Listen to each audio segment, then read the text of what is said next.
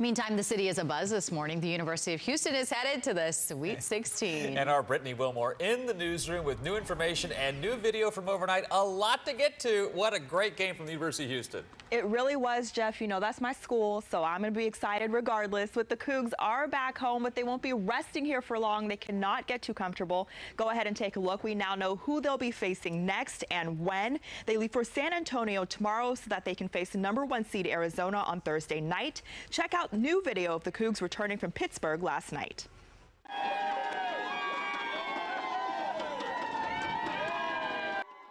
Okay, now that is a welcome back. Arizona defeated TCU in an 85 to 80 overtime thriller to set up their meeting with the Cougs in the Sweet 16. But before the Cougs celebrated with fans and there were hugs all around, head coach Kelvin Sampson gave us this. This is Coach Sampson celebrating shirtless in the locker room after his guys beat Illinois to advance. Guard Taze Moore told us what he thought about that, and Coach Sampson had a few words to share about it too.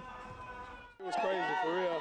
I ain't never seen nothing like that before in my life, but it was a good thing. I'd see him like that than him getting on this. That wasn't the plan. That sometimes your uh, emotions get the best of all guys.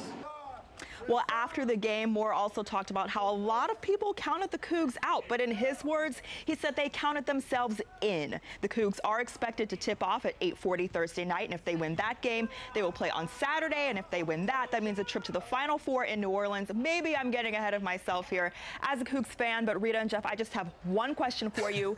Whose house? Cougs house. Y'all know the chant. I speak for Samica Knight, right? That's right. Yes, That's right. favorite, our favorite uh, Coug here at ABC 13.